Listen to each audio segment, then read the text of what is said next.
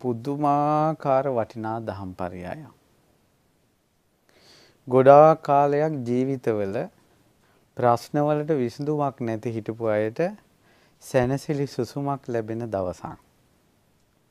එතකොට ලෝකේ කොහේ හරි ප්‍රශ්නයකට උත්තරයක් නැතුව හිටපු අයට අද මේ ධර්ම දේශනාව අවසානයේ නුවණ තියෙනවා නම් අනිවාර්යෙන් ප්‍රශ්නෙට උත්තරේ හම්බ වෙනවා. ඒ නිසා බුදුරජාණන් වහන්සේගේ ධර්මයෙන් තවත් කෙනෙකුගේ විසඳා ගන්න බැරි ප්‍රශ්නයකට උත්තරයක් ලැබෙන ධර්ම දානයක් ඔබට දෙන්න ලැබෙනවා කියන එක පුදුම වාසනාවක්. ඒ නිසා ධර්ම දේශනාවට පළමුවෙන්ම සතුටටපත් වෙන්න ලෝකේටම ධර්ම දානය අපිට දෙන්න ලැබෙනවනේ කියලා. ඉතින් පින්වත්නි අද දවසේ මේ දහම් පරයය ඔබට කියලා දෙන්න මම බොහෝම කැමැත්තෙන් මේ දහම් පරයය දේශනා කරන්න කල්පනා කළේ. මොකද පැවිදි වුණත් ගිහි වුණත් ඒ වගේම ජීවිතේ නොයෙක් තරාතිරම් වල ඉන්න අයට නමුත් නොයෙක් වූ ප්‍රශ්න ගැටලු එනවා. කරදර එනවා. සමහර අයට කරදර ඉගෙනකොට එකපාරම හිතෙනවා දෙයියනේ මෙහෙම කරුමයක් අපේ කියලා. මෙහෙමත් කරුමයක් කියලා. ඇයි අප්පා එකක් ඉවරෙනුට එක කරදරයන්නේ. ඊළඟට විසඳුමක් හොයන්න ගියත් සමහරලාට විසඳුමක් හොයාගන්නට යෑම කරදරයක්. විසඳුම ප්‍රශ්නයක් වෙනවා. ඊළඟට මේ තාක් ධර්මය අහන ගමන් මේ තාක් නොයෙක් වූ දේවල් වල යෙදෙන ගමන් සමහර ප්‍රශ්න වලට මිනිස්සු උත්තර හොයනවා. ඒ වගේම සමහර වෙලාවට අපිත් එක තැනක නැහැ. නමුත් දවසක් දෙකක් එක තැනක හිටියොත් ආරංචි වුණොත් වැල්ල නොකැඩී එනවා ප්‍රශ්න වලට උත්තර හොයාගෙන. ඒ උත්තර හොයාගෙන ඉන්නේ විසඳුමක් නැහැ කියලා. විසඳුමක් නැති තැන හාමුදුරනේ මේ ආවේ කියලා කියනවා. ඔබගේ ජීවිතෙත් මෙතෙක් ඇති සමහර ප්‍රශ්න විසඳිලා නැති. අපි බලමු අද මේ ධර්ම දේශනාවෙන් ඒකට උත්තරයක් හම්බ වෙනවද කියලා. මේ දහම් පරයය කියන් පරයයේ නම තමයි හිතේ තියෙන දුක් පීඩා ශෝක තැවුල් උගුල්ලලා දාන ධර්ම දේශනාව. අද කරන්න. මේ දේශනාවේ මේ දේශනාව තියෙන මුණ්ඩ රාජ වර්ගයේ අංගුත්තර නිකාය තුනේ. පින්වත්නි අපිට අපේ ජීවිතයේ ගැටලුවක් ආපුවාම අපි ඉස්සල්ලාම කරන්නේ බොහෝ අය සාමාන්‍යයෙන් බෞද්ධ කියන බුදුරජාණන් වහන්සේගේ ශ්‍රාවකයෝ කියලා බෞද්ධ කියන පිරිසත් ඉස්සල්ලාම කරන්නේ ගොඩක් අය අද කාලේ අවබෝධයක් කතාව නෙවෙයි මම කියන්නේ අද ලෝකේ බෞද්ධ කියලා කතා කරන අය ඉස්සල්ලාම කරන්නේ කරදරයක් ආපු ගමන් මේක කර්මයක් කියලා කර්මයට දානවා. ඔහොම තමයි ගොඩක් අය. අපි බලමු ඒක හරිද කියලා. ඊළඟ කාරණාව බලමු. සාමාන්‍ය මිනිස්සු කියනවානේ මේ ලෝකේ හොඳ දැන උගත් වුණාම කෙනෙක් කියනවා විසඳුමක් නැති ප්‍රශ්නයක් නැහැ. විසඳුමක් තියෙනවා මේකට කියලා කියනවා. ඒ වුණාට අපේ ජීවිතේ සමහර ප්‍රශ්න වල උත්තර නැහැනේ. කොච්චර තනියෙන් විඳවනවද? මිනිස්සු කොච්චර දේවාල වල ගියාද? කොච්චර පුද පඬුරු ගැට ගැහුවද? කොතෙක් දේවල් කළාද? සමහර අයට උත්තරයක් නැහැ ප්‍රශ්නේ. සමහර වෙලාවට ජීවිතේ දවසින් දවස ප්‍රශ්නවලට ප්‍රශ්නවල හිර වෙනවා. අද කාලේ නම් මිනිස්සු ප්‍රශ්න වලින් මිරිකිලා ඉන්නේ. මිරිකිලා ඉන්නේ ප්‍රශ්න වලින්. පොල් ටිකක් මිරිකලා පොල් කුඩු ටික වගේ ප්‍රශ්න වලින් මිරිකිච්ච මිනිස්සු ටිකක් පාරේ ඇවිදලා යන්නේ. වැඩපලකට ගියත් රැකියා ස්ථානට ගියත් ප්‍රශ්න වලින් මිරිකිච්ච පොල් කුඩු වගේ මිනිස්සු ඉන්නේ. මිනිසුන්ගේ මූණේ පින් පාට නැහැ. මිනිස්සු ගොඩාක් වේලිලා ගිහිල්ලා. අහෝ මේ මිනිසුන්ට සැනසෙල්ලක් නැද්ද? පින්වත්නි ශෝක උල ගලවලා පීඩා උල කරදර උඩ උල ගලවලා දාන දහම් පරයයේදී පළමුවෙන්ම දැනගත යුතු කාරණා පහක් තියෙනවා. ඒ කාරණා පහ තමයි මේ කාරණා පහට උත්තර නැහැ. ඒ කියන්නේ ඒකට යාඥා කරලා යැදලා පතලා ඒ පහට උත්තර ගන්න බෑ. පළවෙනි එක තමයි වයසට යන කෙනාට වයසට යන්න එපා කියලා උත්තරයක් ගන්න බෑ. ඒක මතක තියාගන්න ඕන. දැන් ඔන්න මේ දැන් ඔන්න අපි අපි ඔන්න දැන් තරුණ කාලේ ධර්මයේ දේශනා කරගෙන යන නිසා කට්ටිය කැමරා අල්ලනවා ෆොටෝ ගහනවා යන් දවසක් එනවා කැමරාවකින් ෆොටෝ එකක් ගහන්නේ අපිව. මූණට ගන්න බෑ මේ ෆොටෝ එක. එච්චර කැතයි. මා ඔබටත් වෙනවා ඇති එක. ඒවට උත්තර නෑ. වයසට යෑම. දත් ටික වැටිලා හම රැලි වැටිච්ච වාරුවෙන් හැරමිටියත් ඉතේ යන කැඩි කැඩි වචන කතා කරන වයසක හාමුදුරුවමක්ගෙන් බනහන්න මිනිස්සු කැමති නෑ. පැහැදිලිද මේ කියන එක? කැඩි කැඩි වචන කතා කරන ගොඩාක් වයසට ගිය ඊළඟට හම රැලි වැටිච්ච හැරමිටියෙන් යන අමාරුවෙන් මේ වත්තම් කරගෙන එන හාමුදුරු නමක්ගෙන් බනහන්න මිනිස්සු කැමති නෑ. යම් දවසක් මට දෙනවා කවදාවත් මිනිසෙක් බනකට පිරිතකට ආරාධනා කරන්නේ නැති දවසක්. ඒවට උත්තර නෑ. ඒවට බෙහෙත් නෑ. වයසට යෑම. මා කිව්වේ මං ගැන. ඔබටත් එහෙම වෙනවා. කෝ ඔයාලගේ ෆේස්බුක් වල බලන්නකෝ දත් වැටිච්ච, හම රැලි වැටිච්ච, කුද ගැහිච්ච ආච්චි අම්මලාගේ සෙල්ෆි තියෙනවද කියලා බලන්න. ඒව නැත. වයසට යෑම වයසට යන්න එපා කියලා ලබන්න බෑ. කොච්චර කොණ්ඩේ සුදු වුණාට පස්සේ තරුණ කෙනෙක්ගේ කොණ්ඩේ සුදු වීගෙන යනට එයාගේ හිතට ලොකු දුකක් එනවා. රැවුල පොඩ්ඩක් ඉදෙන්න ගත්තට පස්සේ ලොකු දුකක් එනවා. ඉස්සෙල්ලාම දත දතක් වැටෙනකොට දුකක් එනවා. නමුත් උත්තර නැත. ඒ වයසට යෑමයි. ඒක එහෙම වෙන්න එපා කියලා ලබන්න බෑ. ඔය ඥානෙ තියෙන්න ඕන ප්‍රශ්න වලට උත්තර හොයන කෙනාට. තව තියෙනවා උත්තර හොයන පියවරක් ඉස්සරහට. පළවෙනි පියවර මේ කියන්නේ. මේ පහ ගැන අවබෝධයක් තියෙන්න ඕන. පළවෙනි එක තමයි වයසට යන කෙනාට වයසට යන්න එපා කියලා ලබන්න බෑ. එහෙනම් ඔබ උත්තරයක් හොයාගෙන යන්නේ මං වයසට යනවා ඒකෙන් බේරෙන්න නම් ඒකට උත්තරයක් නැහැ. ඒකට තියෙන උත්තරේ තමයි එය ලබන්න බෑ.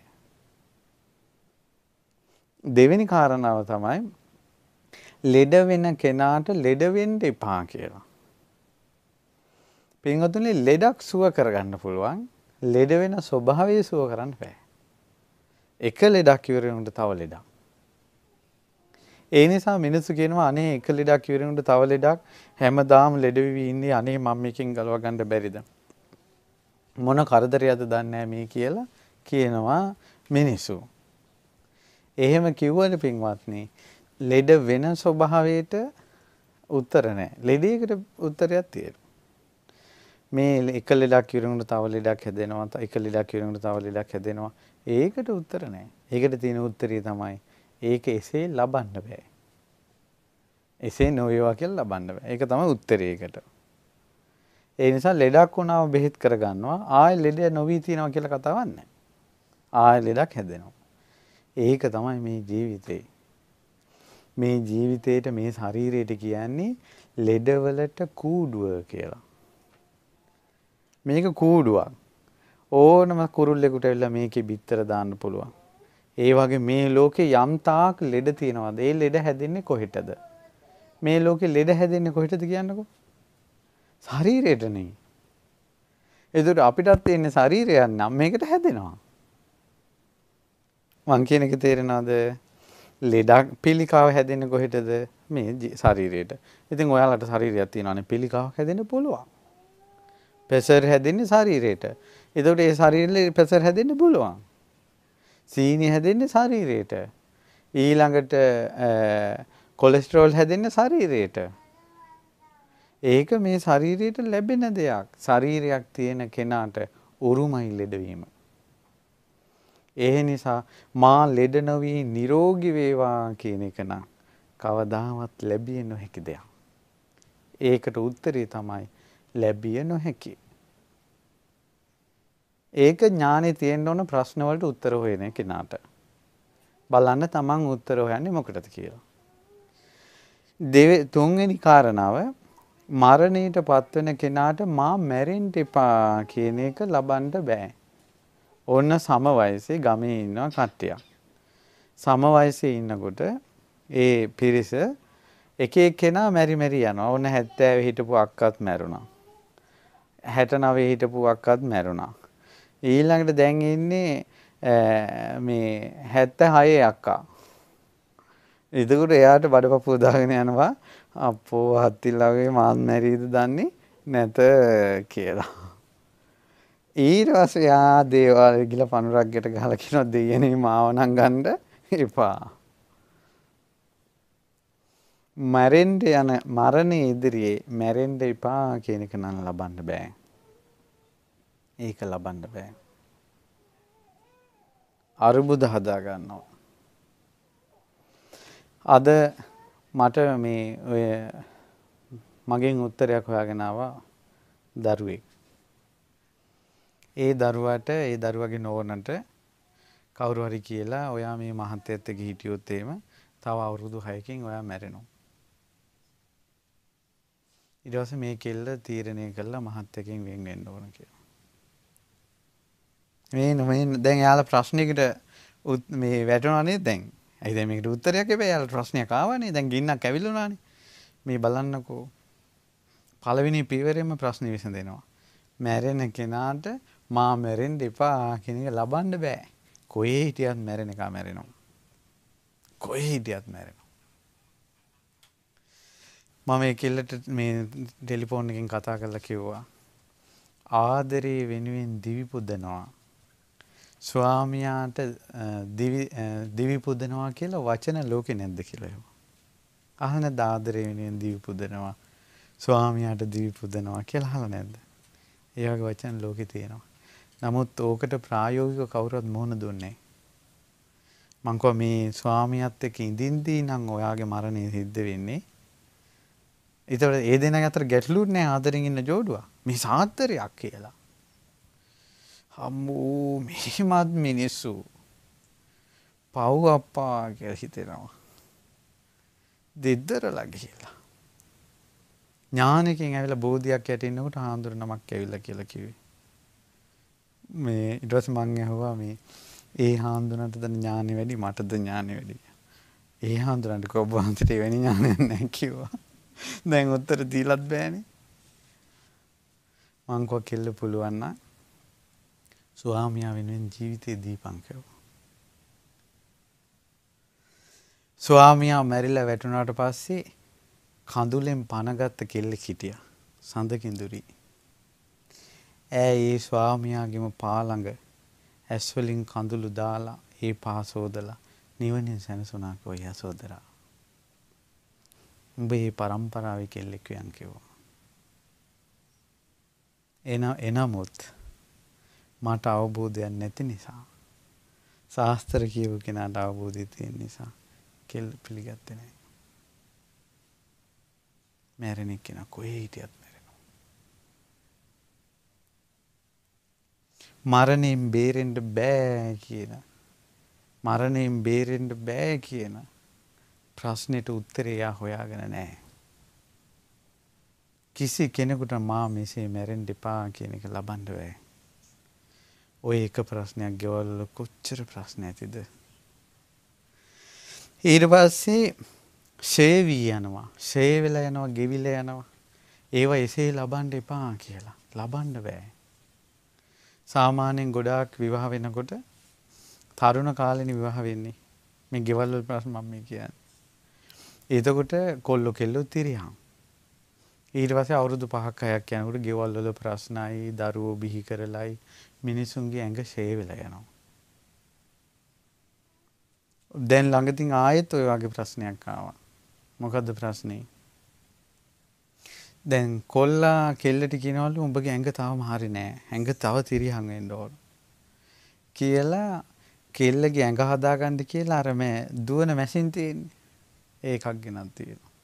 ඉතින් පවුලේ ගොඩාක් අරුබුද ඊට පස්සේ ඔන්න ආවට පස්සේ මං ආයෙ අර කෙල්ලට කිව්වා කෝල් එකක් ගනින් අර කොල්ලට කිව්වා.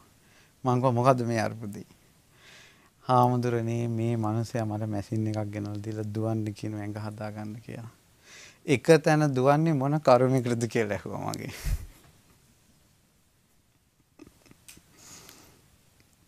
ආබාධ ලෙඩ මානසික ආබාධ මේ ඇඟ ගෙවි ගෙවි යනවානේ. තරුණ කාලේ තියෙන පාට නෑනේ වයසට ගියාම. දැන් ගොඩාක් ඕන වයස කාංචිලා ඉන්නවා. ඔය අය තරුණ කාලේ කොල්ලෝ මහිතේ බලලා ඇති සිය ගානක් දැන් සීයවත් බලන්නේ. ඔබට දෙසේ අනාගතේ. ගෙවෙනවා මේ ශරීරේ. ඇස් ගෙවිලා යනවා. පෙනීම අඩු වෙනවා. කන් ඇහෙන එක අඩු වෙනවා. අතපය වාරු නැති වෙනවා. ඒකට විසඳුන්නේ ඒක උරුම වෙච්ච දෙයක්. මේක මෙසේ වෙන්න එපා කියලා ලබන්න බෑ. මානසික ආබාධ තියෙන අය ඉන්නවා. ඒතකොට වෙන කෙල්ලෙක් ලස්සනට ඇඳලා පෙනුමට හිටියෝ තමන්ගේ කීටක් කියන ඇඳපන් ඒ විදිහට. ලෙඩ මානසික ලෙඩ. ඒවට විසිදු මොනහරි බෙහෙත් පෙත්තක් දෙන්නවා. ඒකයි. ඊට පස්සේ ඔය වගේ ගොඩක් දේවල්. ඔය මම කියන්න පුළුවන් සීමාවක් කිව්වේ. ගෙවල් වල තියෙන අරුබුද. මේ දහම් පරයයවල් අහලා නැහැ. ඊළඟට නැසෙන දේවල් නැසෙන්න එපා කියලා ලබන්න බෑ. නැසෙන දේවල් නැසෙන්න එපා කියලා. ඔය පස්වෙනි කාරණාව. ඕව ලබන්න බෑ. නැසෙන දේ නැසිලා යනවා.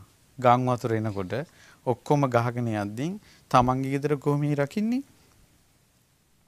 වසංගතයක් ඇවිල්ලා ඔක්කොම ලෙඩ වීගෙන යනකොට කොහොමද රකින්නේ? මිනිස්සු බෝම්බයකින් මැරෙනකොට කොහොමද රකින්නේ? මේ පෙනෙන ඇහැ යන් දවසක් අන්ධ වෙනවාමයි. කන් ඇහෙන්නේ නැතුව යනවාමයි. අතපය වාරු නැතුව යනවාමයි. ඊට පස්සේ ඇවිද ගන්නට බැරුව යනවාමයි. මේවා නැසි නැසි යනවා. නැසි නැසි යනවා. ඒ නැසි නැසි යන එක නැසෙන්ට එපා කියලා කවදාවත් ලබන්න බෑ. මගේ ඇස් අන්ධ වෙන්න එපා. මගේ කන් නෑ හී තියෙන්න එපා. දිවට රහ නොදැනී තියෙන්න එපා. ඒවා නැසිලා යනවා. පන පිටින් නැසිලා යනවා පින්වත්නි. පන පිටින් නැසිල යනවා. ඔය දැන් හිටියට අනිත් අයට සද්ද දාගෙන උඹලා කවුද අපිට පුළුවන් අපිට ඔය එක එකාට අත පාන්න ඕනේ නැහැ කියලා පඬිතකම් දොඩවාගෙන උජාරුකම් කියාගෙන අනිත් ඒවා පහත් කරගෙන ඉන්න ජීවිත තියෙනවනේ යම් දවසක් එනවා බත් එක තිබ්බට පස්සේ මෙහෙම කුලි කළා කටට දාගන්න බෑ. තව කවුරු හරි කවන්න ඕන. එදාට ණයයි කලින් කියපු වචනවලට උඹලා ඕනේ නැහැ කියලා. තමාගේ අසූචි ටික තමාට හොදගන්න බැරුව තවත් එකෙන් පස් තවත් එකෙක් පස්සපැත්ත හොදන දවසක් එනවා. මේ කටට දාන වතුර ටික මේ පැත්තෙන් වැක්කිරෙන දවසක් එනවා. ඒ දවසට මූණ දෙන්නේ කොහොමද කියලා හිතන්න. නිකන් අර පුළුවන් කාලේ ඊළඟට තමන්ට යම්කිසි දෙයකට මේ තේරෙන කාලේ ඊළඟට හවිහත්තේ තියෙන කාලේ තමන්ට බලපුළුවන්කාරකම් තියෙන කාලේ උජාරුවට එක එක වචන කියලා මිනිස්සු අවසාන කාලේ ඉඳවනවා. එතකොට තමන් කලින් තරුණ කාලේ කියපු ඒවා මතක් වුණොත් එහෙම පපු ඇතුළෙමුත් පිච්චෙනවා. සමහර වෙලාවට අවසන් මේ තමන් බැඳපු ගෑණිට බැන බැන ඉන්න මිනිහලා ඉන්නවා. මිනිස්සු අවසාන කාලේ වතුර පොදක්වත් දෙන්න ඉන්නේ තමන් බැඳපු ගෑනු කෙනා විතරයි. එදාට ඒ ගෑනිට කලින් ජීවිත කලින් වද දීලා නම් එදාට කොච්චර ණයයිද අප්පා. සමහර ස්ත්‍රීන් පිරිමින් යට කරගෙන දෙස් දෙවුල් තියාගෙන ඉන්නවා. අවසාන කාලේ වතුරට පොදක්වත් දෙන්න ඉන්නේ මිනිස්සයා විතරයි එදාට කොච්චර පිච්චෙයිද ඊළඟට අම්මලා තාත්තලාට කියලා රැස්පට් දාගෙන උඹලා මොනවද දන්නේ කියලා හිතුවක්කාරකම් කරගන්න කොල්ලෝ ඉන්නවා කෙල්ලෝ ඉන්නවා. අවසාන ඒ වගේ විපාක විදිහට පෞල් ජීවිත දෙදරලා ගිහිල්ලා තනි වුණාට පස්සේ බඩගින්න ඉන්නකොට කැඳ ටිකක්වත් දෙන්න ඉන්නේ අම්මයි තාත්තයි විතරයි. එදාට පිච්චේ යුන්දලා කැඳ කෝප්පේ උස්සගෙන එනකොට පුළුවන් කාලේ කටෙන් සැර දාලා නම් අනාගතේට මොනවා වෙයිද කියලා හිතන්න ලෙඩ වෙන එක වළක්වන්න බෑ. මරණය, වයසට යන එක, නැසෙන දේවල්, ෂේවිවි යන දේවල් ඒවා වළක්වන්න බෑ. මතක තියාගන්න ගොඩාක් අය Tamanට පුළුවන් කාරකම් එනකොට අම්මා තාත්තා මතකයක් නැහැ. නමුත් අඟුලිමාලට උනත් අවසානයේ හිටිය අම්මා විතරයි. ලෝකයක් එපා කියද්දී අම්මා ගියා. නමුත් ඒ අඟුලිමාලගෙන් අම්මා මැරෙන්න කලින් බුදු කෙනෙක් එතෙන්ට ආවා. නමුත් අම්මා ගියානේ හොයාගෙන. ඒකයි. ඔන්න ප්‍රශ්න විසඳ ගන්න පළවෙනි පියවර තමයි ලබන්න බැරි දේවල් ලබන්න බෑ. ඒ ඒක එහෙනම් ඔබ විසඳුම් හොයන්නේ ලෙඩ වෙන එක වළක්ව ගන්න නම් විසඳුම් හොයන්නේ වයසට යන එක වළක්ව ගන්න නම් විසඳුම් හොයන්නේ මරණය වළක්ව ගන්න නම් විසඳුම් හොයන්නේ ඡය විවි යන්නේවා වළක්ව ගන්න නම් විසඳුම් හොයන්නේ නැසෙන දේවල් වළක්වා ගන්න නම් ඒකට උත්තරය තමයි එය ලැබිය නොහැකි. ඊළඟ එක. ඔන්න දැන් මොන මොන හරි ප්‍රශ්න හිතවල තියෙනවා. දැන් තමන්ගේ ප්‍රශ්නේ තමයි දැන් මේ බලන්නේ. දෙවෙනි පියවර තමයි ප්‍රශ්නයක් ආපුම හිතන්න කියනවා මේ ප්‍රශ්නේ මට විතරද තියෙන්නේ කියලා. හොඳට කල්පනා කරන්න. ස්වාමියා නිසා බිරිඳ විඳවනවා නම් ඒ ප්‍රශ්නේ එයාට එයා විතරද මේ තුන් ලෝකෙම එයාට විතරද ඒ ප්‍රශ්නේ ආවේ. රැකියා ස්ථානයේ ප්‍රශ්න නම් මේ ලෝක තුන් ලෝකෙම රැකියා ස්ථානයේ ප්‍රශ්න තියෙන්නේ මට විතරද? gedara ප්‍රශ්න නම් මේ තුන් ලෝකෙම gedara ප්‍රශ්නයක් තියෙන්නේ මට විතරද? දරුවෝ නැත්තම් මේ තුන් ලෝකෙම දරුවෝ නැත්තේ අපිට විතරද? ඊළඟට එක එක කෙනෙහිරි කන්න එක එක්කෙනාගේ මේ ලෝකේ සතුරු කරදර මට විතරද? රස්සාවෙන් ඉහළට යන්න බැරි නම් මේ ලෝකේ රස්සාවෙන් ඉහළට යන්න බැරි එකම කෙනා මං විතරද? අම්මලා තාත්තලා මෙයා උඹ ඵලයන් කියලා ගෙදරින් පන්නලා දාලා නම් ගෙදරින් මා ගෙදරින් පන්නපු පළවෙනි දරුවා මන්ද? පැහැදිලි නේද? ඊට පස්සේ කල්පනා කරන්න ඕන ප්‍රශ්නයක් ආපුවාම ඔන්න ඒ ඒ පොයින්ට් එක හොඳට මතක තියාගන්න. ප්‍රශ්නයක් ආපුම හිතන්න ඕන ප්‍රධාන කාරණයක් මතක තියාගන්න. ඒ තමයි මේ ප්‍රශ්නේ ආවේ මට විතරද කියලා. මේක පුදුම සැනසෙල්ල ප්‍රශ්නයකට මුහුණ දෙන්න ඕන. මේක හිතනකොටම සැනසෙල්ලක් එනවා. ඇත්තටම කී දෙනෙක් ඉන්නවද අප්පා එකම ප්‍රශ්නයක් විඳවනවා? මේ ලෝකේ ප්‍රශ්න වැඩි වෙන්න තමන්ගේ හිත පෑරි පෑරි යන්න ප්‍රධානම බලපාන එකක් තමයි හිතනවා මට විතරයි මේ ප්‍රශ්නේ. මං විඳින දුක දන්නේ මං විතරයි. මේ ලෝකයට මාව තේරුම් ගන්න බෑ. ඕක තමයි මේ ලෝකේ තියෙන ඇතුලේ ගිනි අරන් ඉන්න ප්‍රශ්නවල එක්තරා තැනක්. මගේ බුදුරජාණන් වහන්සේගේ ධර්ම වචනයක් මේ ප්‍රශ්නයක් ආපුම හිතන්න කිව්වා මේ ප්‍රශ්නේ මට විතරද එතකොටම හිත සැනසීලා යනවා ඊළඟට ණය බරින් මිරිකෙනේවා ණය තුරුස් වලින් මිරිකෙනේවා ඊළඟට ওই වගේ නොයෙක් දේවල් මට විතරද ඔබගේ ප්‍රශ්නේ දාලා බලන්න ওই දහම් පරයයට මට විතරද මේ ප්‍රශ්නේ ඔන්න එතකොට හිතට සැනසෙල්ලක් එනවා ගොඩාක් අයට මේ ප්‍රශ්නේ තියෙනවා.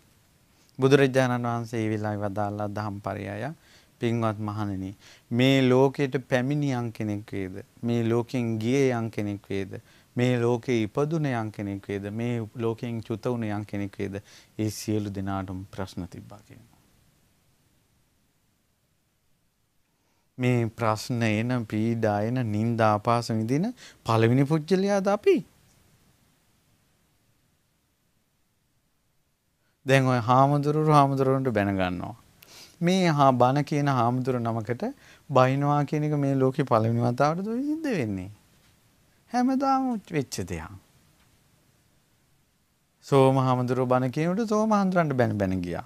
පස්සේ අපවත් වෙච්ච ගමන් සින්දු ගැහුවා. මේ මිනි පහන නෙවෙයි ගියා කියලා. දැන් ඔන්න ලොකු ස්වාමීන් වහන්සේ ඉන්න කාලේ ලොකු ස්වාමීන්ට බැන බැන ඉන්නවා. ලොකු ස්වාමීන් නැති කාලෙක කායි කවි සින්දු හදලා ප්‍රශස්ති ගීත කියයි. හිස් ලෝකේ. ඉන්න ගම්ම ඉන්නකල් මරා ගන්න හදනවා. අනගාരിക ධර්මපාලතුමාට ඉන්න කල් පිස්සා කියලා කිව්වේ. හන්දියක් හන්දියක් ගානේ දැන් ආන්න ධර්මපාලතුමාගේ පිළිරු හදලා ඉන්දියාවේ මිනිස්සු ඇට කුඩු වෙන්න ගැහුවා මේ අනකාරික ධර්මපාලතුමාගේ. අන්න ඉන්දියාවේ රාජ්‍ය මේ මුද්දරේ මේ ඡායාරූපේ විදිහට ධර්මපාලතුමාගේ ෆොටෝ එක දාලා මැරුණට පස්සේ පීඩා විඳ විඳ මිනිසුන්ගෙන් බැටක කය යන ජීවිතේ අපි නෙවෙයි පළවෙනි අය. අපි නෙවෙයි පළවෙනි අය. මට විතරක්ද මේ ප්‍රශ්නේ ආවේ කියලා හිතන්න කිව්වා. ඒක තමයි ඊළඟ විසඳුම. ඇත්තටම විසඳුමක් එනවා එහෙම හිතනකොට. ඊළඟ පියවර මේ මනසින් කඩා වැටෙන්න එපා කියනවා. ඒ මනසින් කඩා වැටෙන්නේ නැත්තේ මෙන්න මෙහෙම. ඒ තමයි මූණේ එල්ල ගත්ත ගමන් ප්‍රශ්නයක් ආපු ගමන් අවුල් වෙච්ච ගමන් දෙස් දෙවුල් තියාගෙන බැනගෙන මූණ අවුල් කරගෙන ඇවිලිච්ච ගමන්ම ඒකට ගොඩාක් කැමති අය ඉන්නවා. කවුද කැමති? තරහකාරයෝ ටික. අන්න ඇවිලුණා ඒ පවුලට යම්කිසි කෙනෙක් ආදරේද සෙනෙහසයිද අනේ මුන්ට වෙච්ච දේ කියලා දුකටපත් වෙනවා. හතුරෝ සතුටු කරන්න එපා. මිතුරන්ට දුක් දෙන්න එපා කියන එක තමයි ඊළඟ ප්‍රශ්න විසඳුම් ක්‍රමය.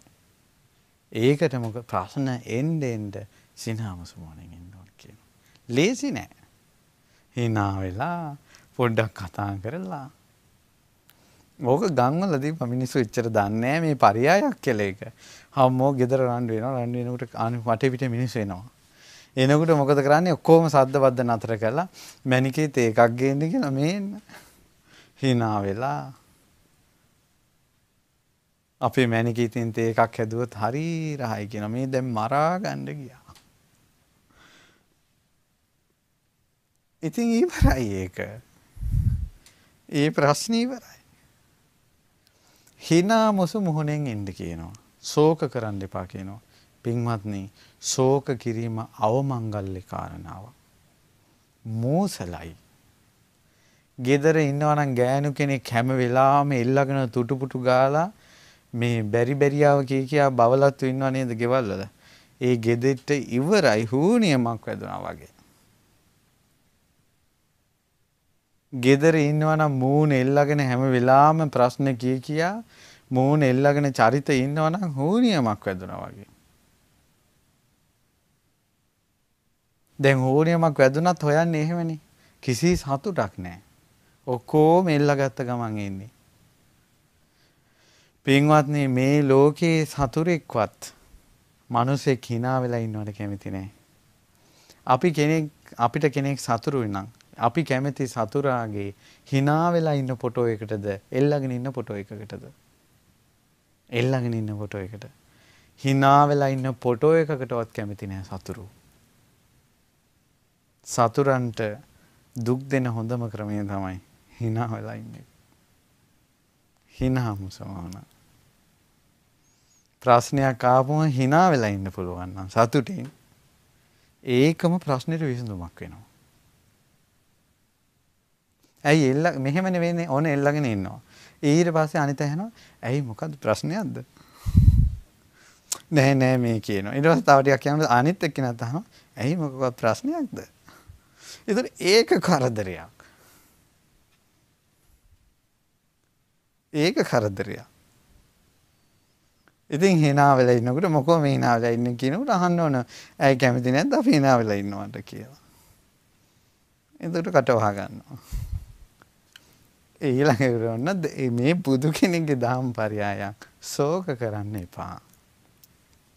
අසෝකං විරජංකේ මං ඒ තම් මංගල මුත්තම. හිනා වෙලා ඉන්න කියනවා. ওই ප්‍රශ්න විසඳෙන එක ක්‍රමයක්. සිනා මුසු මූණ.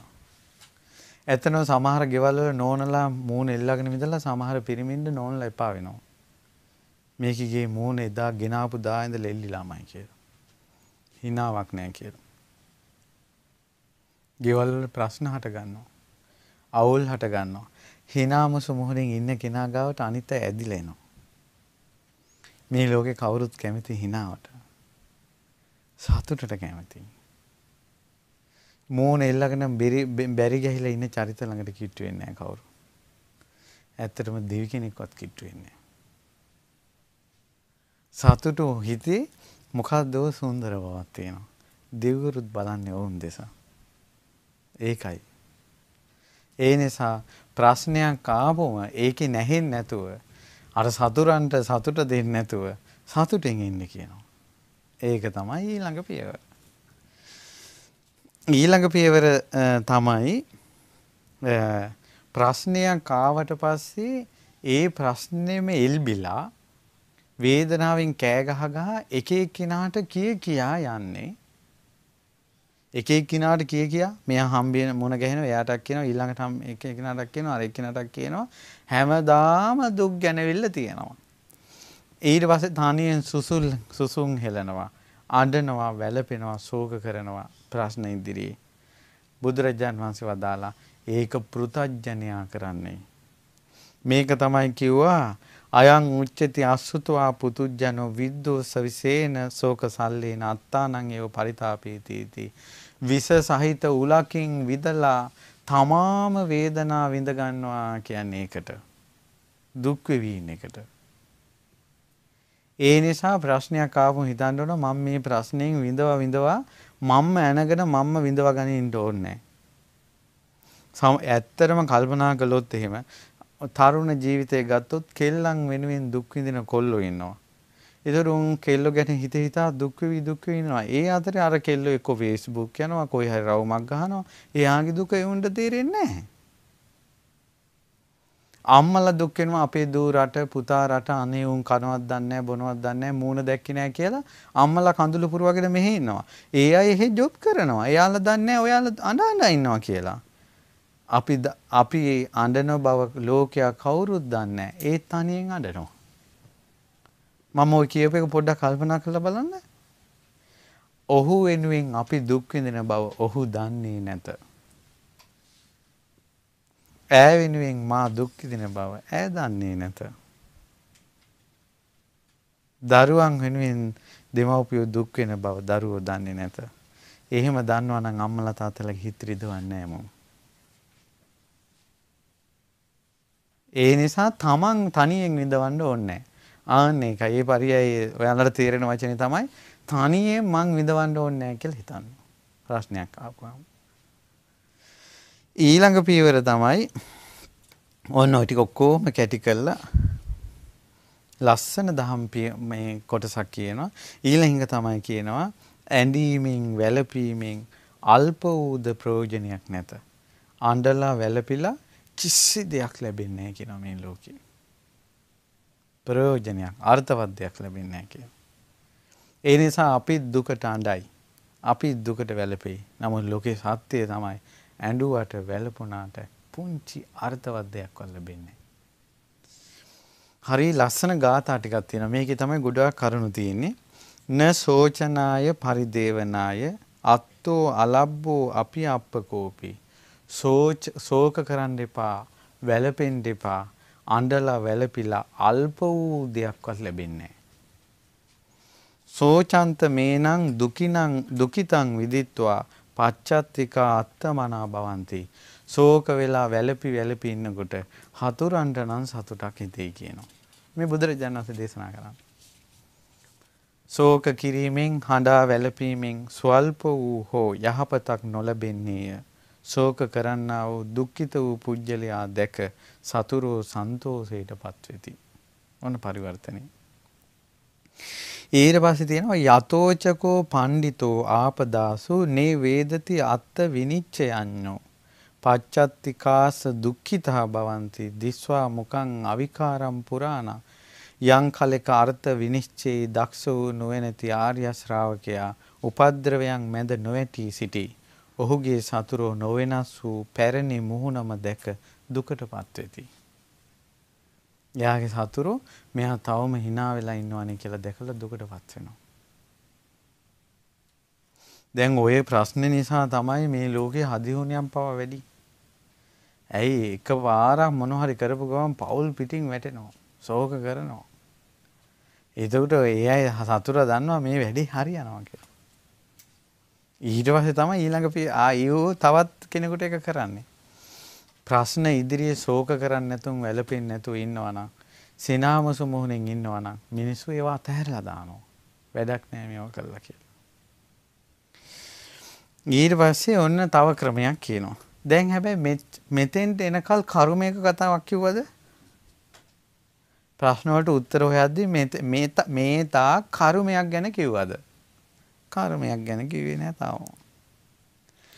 ඊළඟ එක තමයි ජප්පේන මන්තේන සුභාසිතේන අනුප්පදානේන පවීනියාච යතා යතා තත්ත ලබහිතාත්තං තථා තථා තත්ත පරක්කමෙය්‍ය මෙන්න හරි ලස්සන කාරණාව ජප කිරීමෙන්ද මන්ත්‍රයෙන්ද සත්පුරුෂ වචනයෙන්ද පිළිවෙලින් දෙන දාණයෙන්ද පරපුරෙන් පැමිණි ක්‍රියා මාර්ගයෙන්ද යම් යම් ආයුරකින් යම් යම් ආපදාවකදී යහපත ලැබෙයි නම් ඒ ඒ ආයුරින් එහිලා කටයුතු කිරීමට වීරිය කරන්නේය. ඔන්න පින්වත්නි ප්‍රශ්නය කාවට පස්සේ ඔයකට උත්තරේ ජප කිරීම නම් ජප කරපල්ලා කියනවා. මොකද්ද ජප කිරීම කියන්නේ? මොකද්ද ජප කරනවා කියන්නේ? නැවත නැවත යමක් කීම. කුමක්ද? අපි ওই ප්‍රශ්නවලට උත්තර කියන්නේ අඟුලිමාල පිරිත කියන්න. මහා සෑයට ගිහිල්ලා 108 වතාවක් අඟුලිමාල පිරිත කියන්න. රතන සූත්‍රය දහස් වරක් කියන්න. තේරුණා නේද? එතකොට ඒ ප්‍රශ්නෙට උත්තරේ එක පිරිත නැවත නැවත කීමක් නම් ඒක කරන්න කියනවා. තේරුණාද මං කියන එක? මන්තේන මන්ත්‍රයෙන් විසඳුමක් තියෙනවා නම් මන්ත්‍රය කරන්න කියනවා. මොකද්ද මන්ත්‍රය කියන්නේ? සර්පයෙක් දෂ්ට කළා. එතකොට මේ ලෝකේ මේ සර්පයෙක් දෂ්ට කළේ මට විතරද කියලා එයා පුටුවට වෙලා ඉඳගෙන හිටියොත් තේරුණාද? දැන් හාමුදුරු කිව්වා මේ ලෝකේ ප්‍රශ්නයක් ආවොත් ඒක මට විතරද තියෙන්නේ කියලා හිතලා හිත සනස ගන්න කියලා. ඕන දැන් නාගෙක් කියලා දෂ්ට කළා. දෂ්ට කළාට පස්සේ මෙයා කල්පනා කරනවා ලෝකේ නාගෙක් දෂ්ට කරපු පළවෙනි කෙනා මමද නෑ ආන්දර කියපු බණ හරි කියලා පුටුවට වෙලා ඉන්නවා. දැන් ඒක මැරෙන එක මං කරගන්න ඕන. මන්ත්‍රයෙන් විසඳුමක් තියෙනවා නම් මන්ත්‍රය කරපළා කිව්වා. ඒ වෙලාවට විස බාන්නේ මන්ත්‍රයෙන් නම් විස මන්ත්‍රයෙන් බාන්නවා. ඒ ප්‍රශ්නෙට උත්තරේ හම්බ වෙන්නේ මන්ත්‍රයෙන් නම් ඒක කරන්න ඕන. මේ ප්‍රශ්නෙට උත්තරේ දෙහිගිරියක් කපලා නම් දෙහිගිරිය කපන්න වෙනවා. මේ ප්‍රශ්නෙට උත්තරේ කොස් ගෙඩියක් කපන එක නම් කොස් ගෙඩියක් හරි පොල් ගෙඩියක් හරි කපන්න වෙනවා. මන්තරෙන් නම් විසඳුම මන්තරෙන් හොයන්න වෙනවා. ඊට පස්සේ සුභාසිතේන සුභාසිත කියන්නේ යහපත් වචනේ. යහපත් වචනේ කියන්නේ බුදුරජාණන් වහන්සේගේ ධර්මය අහන එක. අවවාද අහන එක, කල්යාණ මිත්‍රයන්ගෙන් උපදෙස් ගන්න එක, බණ අහන එක. ඒක ඒක කරන්න කියනවා කරදරයකට උත්තරයක් විදිහට. කවුද ලෝකේ කරදර වැඩි කියලා බණ අහන අය කවුද? ලෝකේ කරදර වැඩි කියලා සත්පුරුෂ ඕදම් පිළිපදින අය කවුරුන්ද? යම්කිසි කෙනෙක් ඊළඟට සුභාසිත ගණයටම තමයි වැටෙන්නේ සත්‍යක්‍රියාව. කරදරයක් ආවට පස්සේ තමන් පුරුදු කරපු ಗುಣධර්මයකින් සත්‍යක්‍රියා කරලා ඒකට විසඳුම හොයාගන්න නැත්තම්. ඒක කරන්න කියනවා. ධර්මය අහන්න කියනවා. කරදර වැඩි වුණාට පස්සේ මේකෙන් තියෙන්නේ පිරිත් කියන එක වැඩි කරන්න ඕන. ඊළඟට තමයි බණ අහන එක වැඩි කරන්න ඕන. දහම් අවවාද ගන්න එක වැඩි කරන්න ඕන කරදරයක් වුණාට පස්සේ. ඒ වගේ ඒවා සංසිඳී සිඳී යනවා. ඊළඟට තමයි අනුප්ප සුභාසිතෙන අනුප්ප දානේන අනුප්ප දානේන කියන්නේ පිළිවෙලින් එන දානයක් දෙන්න කියනවා. ඒ කියන්නේ අපි කියමුකෝ දාන සංඝ දාන වැඩි හිටියන්ට දන් දෙන අය. ඊළඟට අපි කියමු සත්තුන්ට හරි දානයක් දෙන එක. අබේ දානෙ දෙන එක. දාන දෙන්න කියනවා. කරදර වැඩි කියලා දන් දෙන අය කවර හොඳ. මිනිස්සු ගොඩාක් දාන දෙන්නේ කරදර අඩු වුණාම. කරදර වැඩි වෙනකොට දන් දෙන්න කියනවා. සමහර ප්‍රශ්නවලට පින්වතුනි මේ අත්දැකීමෙන් කියන්නේ සමහර ප්‍රශ්නවලට විසඳුම් ලැබෙන්නේ මේ ලැබිලා තියෙනවා අබේදානෙ. කියන්නේ හිර වෙලා ඉන්න ප්‍රශ්න තේරුමක් බේරුමක් නැති ප්‍රශ්නවලදී සමහර වෙලාවට සත්තු නිදහස් කරලා මැරෙන්ට මැරෙන්ට කැප වුණ මරන්න කැප වුණ හෝ කූඩු කරලා ඉන්න හෝ සත්තු නිදහස් කරලා මේ විදිහට මේ මගේ ප්‍රශ්නෙත් නිදහස් වේවා කියලා අදිෂ්ඨාන කරලා ඉක්මනට ප්‍රශ්න විසඳගත් අවස්ථා තියෙනවා. ඒ අබේ දාණයෙන් ප්‍රශ්න විසඳගත්තා. තව දාණයෙන් ප්‍රශ්න විසඳගත්ත තව කතාවක් කියන්න. අපි අඳුරන්න පුතෙක් හිටියා ඒ ගෙදරට මොකක් හරි දෙන්න ඒ දුවටයි ඒ පුතාට මොකක් හරි හදුනියමකින් හරි මොකක් හරි දෙයක් වෙදිලා වුණා සෝකේ ප්‍රශ්න විසඳෙන්නේ නැහැ. දෙන්නට දෙන්න පේන්නත් බෑ හැබැයි ආදරෙයි.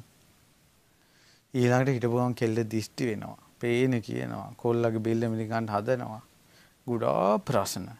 ප්‍රශ්න දරා ගන්න බැරුව අර කොල්ලා බීලා රෑ ඇවිල්ලා මේ හතරවරන් දෙයයන්ටත් බයිනවා සක්කල දේන්ද්‍රයටත් බයිනවා ඕනියන් කරපු අයටත් බයිනවා ඕනියන් කරපු යකුන්ටත් බයිනවා ඔක්කෝටම බයින එක තමයි වැඩි. මේ ගෙදර ප්‍රශ්න. දවසක් මේ අයට ආරංචි වුණා ගමේ පන්සලේ ධර්මශාලාව හදනවා ඒකේ බාල්කයකට මීලියක් ඕන කියලා. එයාලගේ ගෙදර මී ගහක් තියෙනවා. මේ ගෝල්ලට මේ කරංචිලා කල්පනා කරනවා අපිට සැනසෙල්ලක් නැති ජීවිතේ ඊළඟ ජීවිතේවා සැනසෙල්ල ලබන්න අපේ මී ගහ දෙමු පන්සලට කියලා.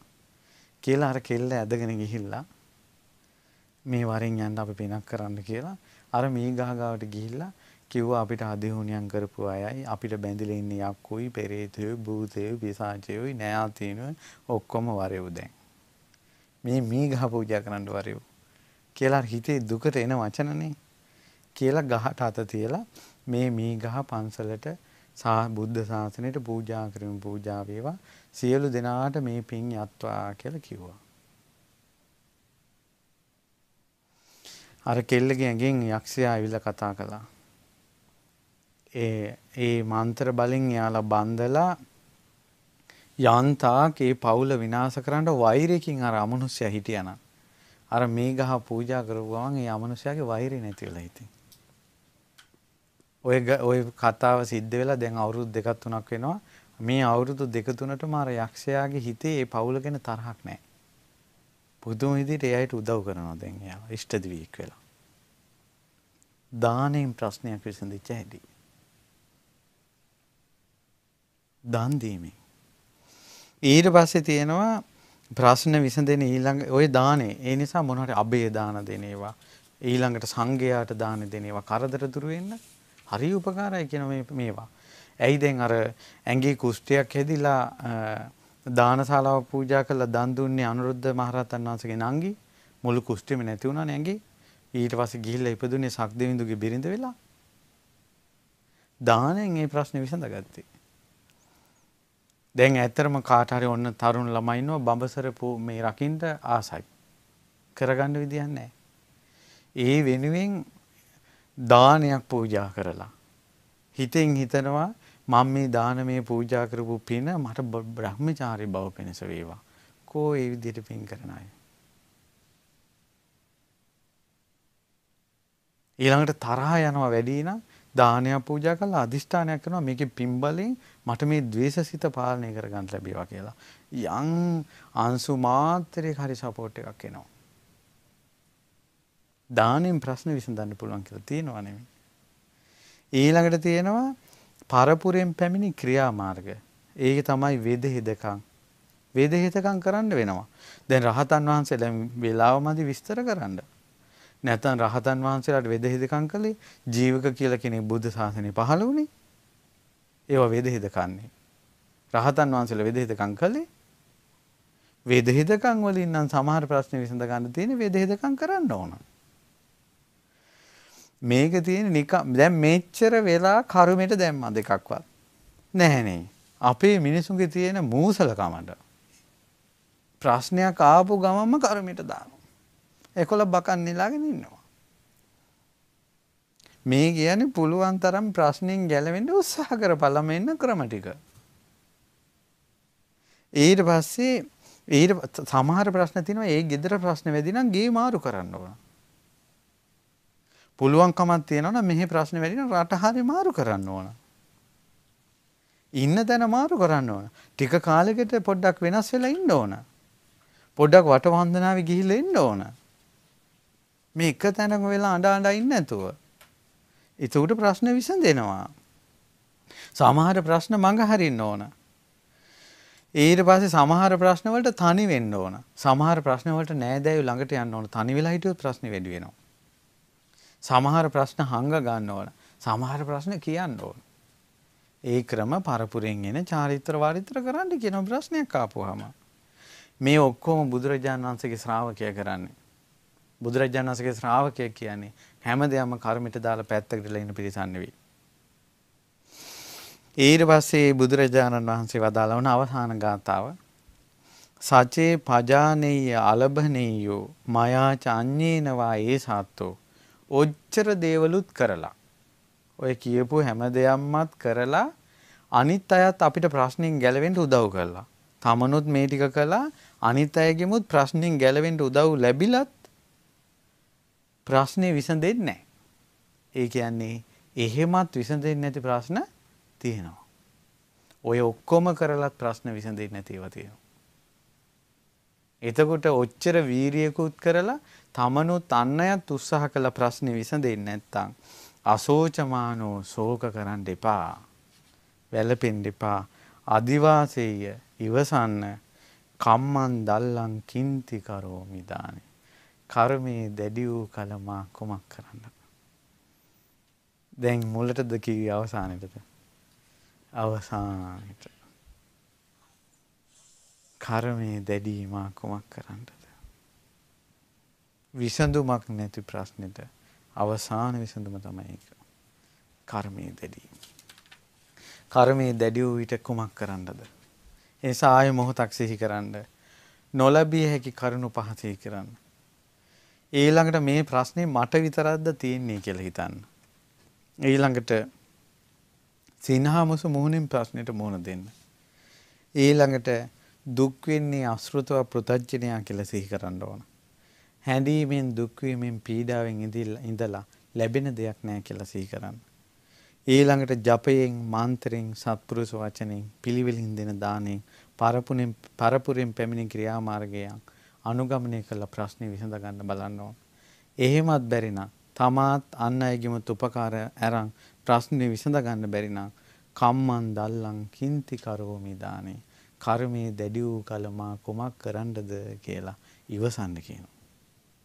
ඉවසන්න කියලා කියන්නේ සියේදි විහානි කරගන්න නෙවෙයි. ඉවසපල්ලා කියනවා. කර්මයේ දැඩි මතක තියාගන්න කාර්යමයක්ද කියලා එකපාර අපිට තීරණය කරන්න බෑ. මේ මුලින් තියෙන විසඳුන් ටික ගන්න ඕන. විසඳුන් ටිකත් අරන් විසඳෙන්නේ නැත්නම් කර්මය කියලා කියන්න පුළුවන්. එකපාරම කර්මය මුලට දාන්න එපා. අනිත් එක තමයි ප්‍රශ්න විසඳෙන ක්‍රම ටිකක් තියෙනවා. ඔය එකකින් හරි ප්‍රශ්න විසඳෙනවා. ඒ නිසා ඔබත් ප්‍රශ්නයක් ආපු ගමන් උත්තරයක් නැහැ කියන තැන ඉන්නේ නැතුව උත්සාහ කරන්න ප්‍රශ්නේ විසඳ ගන්න. ඒ බැරි තැන තමයි කර්මයට දාන්නේ. හැබැයි ඉතින් මේ බුදුරජාණන් වහන්සේගේ ශ්‍රී සද්ධර්මයේ සුභාසිත දහම් පද අහලා හිත සංසා ගන්නකොට ගොඩාක් ප්‍රශ්න විසඳලා යනවා. එතකොට තමයි කර්මය ගැන උනත් තේරෙන්නේ. ඒ නිසා ඔබටත් මෙතෙක් කාලයක් නොවිසඳුන ප්‍රශ්න විසඳා ගන්න මේ දහම් කතාව තුටුපඳුරක් වේවා කියලා සෙත් පතනවා. ඉතින් පින්වත්නි ශ්‍රද්ධා දායකත්ව ධර්ම දේශනාව සිද්ධ කරන්නේ පොල් ගහවෙල ඉබුල් ගස්දෙනිය ගොඩ ගොඩපොළ නොම්බර 59න් 6 නිවසේ පදිංචි පින්වතුන් සියලු දෙවි දේවතා උන්වහන්සේලාට පින් අනුමෝදන් කරනවා මේ සියලු පින් සියලු දෙවියන්ට අනුමෝදන් වෙලා ඒ සියලු දෙවියෝ මේ පින්වතුන් දැහැමින් රැක ගනිත්වා දෙවියන්ද සංසාර දුකින් අත්මි දෙත්වා කියලා සාදු කියනවා. ඒ වගේම මේ පින් අනුමෝදන් වේවා මිය පරලෝකීය සුල්තාන් මිහිරාන් තාත්තාට ඒ වගේම සීජී ප්‍රේමවතී මහත්මියට තිලිනි බෝගඩ මහත්මිය ඒ වගේම මිය පරලෝකීය ජේ.ඒ. පොඩි මැණිකේ මෑණියන්ට මානියෙල් අතුකෝරළ පියාණන්ට අනුමෝදන් වේවා. කවුරුත් නමේ මිය පරලෝකීය සියලුම ඥාතීන්ට මේ පින් අනුමෝදන් වී පරලෝක සැපේ වේවා කියලා සාදු ඒ වගේම විශේෂයෙන් පින් අනුමෝදන් කරනවා Eh, මේ සියලු පින් අනුමෝදන් වෙත්වා අපගේ පරම පූජනීය ගුරු දේවෝත්තම පින්වත් ලොකු ස්වාමීන් වහන්සේ නිසා තමයි අපි දහම් පරයයවත් අපේ වචනෙන් සරල සිංහලෙන් අපි තේරුම් ගන්න ලැබුණේ. ඉතින් පින්වත් ලොකු ස්වාමීන් වහන්සේට මේ පින් අනුමෝදන් වේවා. සියලු සංගරුවනට ධර්ම අවබෝධය පිණිස මේ පින් උපකාර වේවා. ඒ වගේම රැස් කරගන්න හේතුනා වූ සියලුම පුණ්‍ය ධර්මයන් ඒකාන්තෙන් අනුමෝදන් වෙත්වා දායකත්වයේ දරු. ඒ සියලුම පින්වතුන්ටත් ඒ වගේම පින්වත් තාරා සූර්ය ධනසේකර දියණියට නිදුක් නිරෝගී සුවපත් භාවය ගෞතම බුදුසසුනේ පිහිට පිලිසරණ පිණිස මේ පින් උපකාර වේවා කියලා සඳහන් කරලා තියෙනවා.